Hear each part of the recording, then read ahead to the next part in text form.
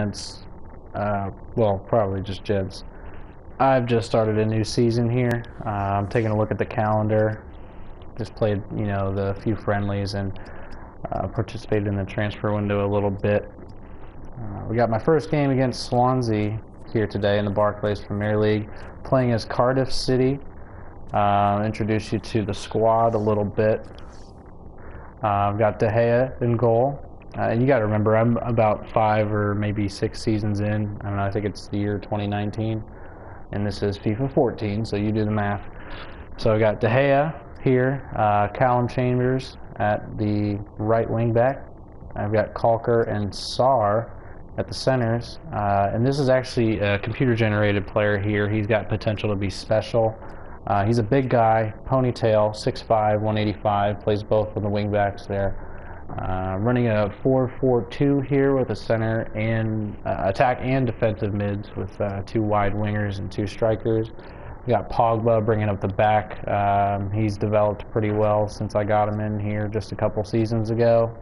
Um, he's he's been pretty pretty solid at the back there, and um, you know definitely a key player on the team.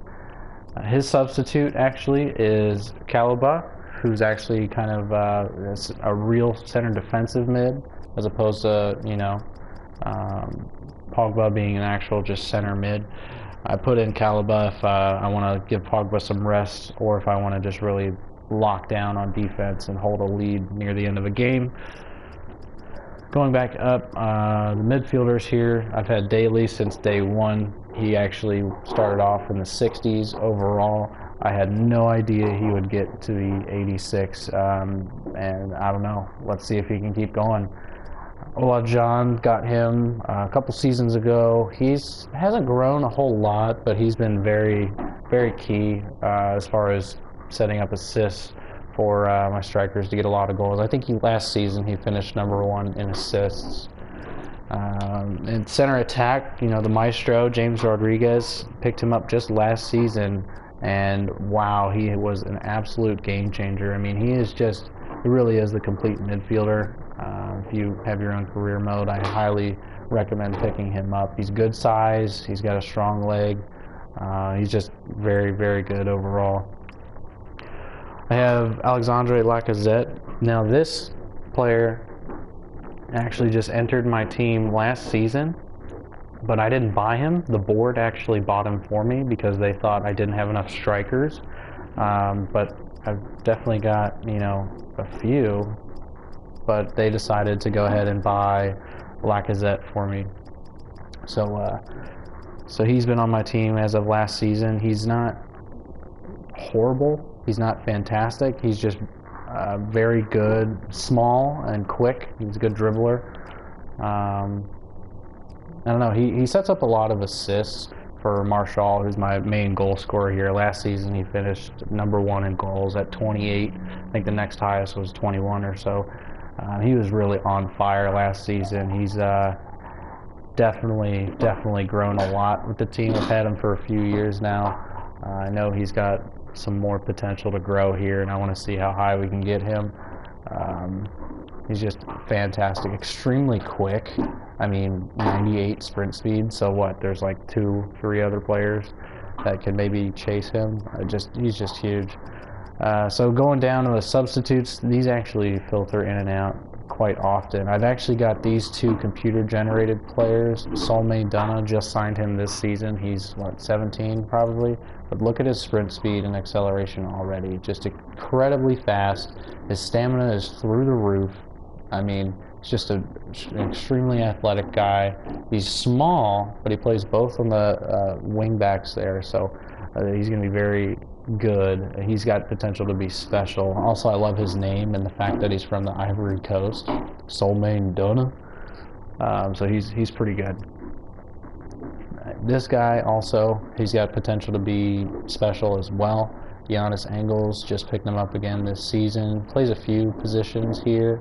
Um, thinking maybe might eventually try and work him toward a center defensive mid position. Um, not exactly sure where I want to put him yet. He's uh, pretty big, you know, 6'3", 170. Um, haven't played with him a whole lot yet. I played him with him just once this preseason. And that was uh, kind of interesting. Now going down to the other substitutes, uh, another computer-generated guy here. He's all right. He's really small, like 5'5", 130. I don't know if I'm going to keep him or not, but uh, we'll see. We got Zaha. He's definitely important to the team. Uh, he's a good substitute on either side, left or right mid, when these guys are getting tired, you know. So uh, definitely keep him around. And of course, going back to Calibo, my you know lockdown center defender. We've got two computer-generated strikers here. Uh, one I want to focus on is Danny Davis. If you take a look at his height and his weight, 6'6", 198. Dude is a monster up front. Just absolutely huge. No one can even jump as high as he stands. Like, you just got to throw the ball in the box and he heads it in. Um, it almost feels like cheating uh, he doesn't get it all the time, of course. I mean, there's definitely some tall center backs, but I mean, this guy is absolutely deadly in the air. Only got a 79 heading accuracy, uh, but it should be up in the 90s. Uh, we've got a computer-generated goalie. He's got some good potential here. Uh, I don't play him a whole lot unless it's a team, you know, I feel comfortable that I can get a win for sure. Uh, moving down, we've got, just so we can see, we've got Leo Chambers. I do put him in sometimes if my center backs are getting tired. Um, he's more of just a stamina mule. Just keep him up there. Vasquez, another computer generated. Um, this guy's been with me for a while, since the beginning actually. He hasn't really progressed at all, and he is getting kind of old, so I'm going to let my other younger players step up and grow and he can just be there to, you know, in case anyone gets tired, he can step in. Uh, next five players are all computer generated. So we got a center mid, right mid, left mid, uh, attacking mid, and right winger. I know these two here are, have potential to be special. These two are uh, just really good wingers, um, very standard. You know, they just get the job done. I put them in if we have a stamina problem. Also, this guy, I haven't played with him a whole lot, but the times I have played, he's just been, you know, he's done his job. So that is the team so far. Uh, really going to be focusing on getting Marshall as high as possible this season and uh, sticking with the formation. It's really worked out for me last season. I actually finished top of the table and I won the Euro League. So this year I've got to hopefully do that again, but I'm not sure if that's going to be possible because surprisingly, let me go back here, my objectives is to avoid relegation.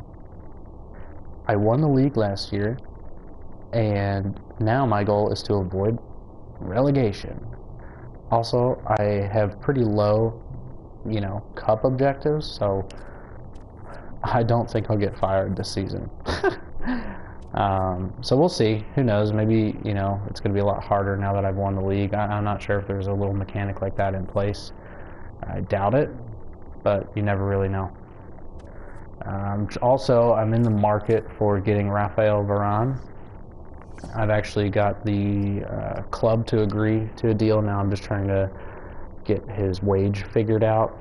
He's holding out for more and more money, um, but I wanted to get him in and actually sell Sar, number five, down there, left center back, because he doesn't want to play for me anymore. Figure I can get some decent money out of him. He's 84 overall and still pretty young. So who knows? But that is the introduction to the uh, the teams. next video, we're going to go ahead and get started, get this season underway.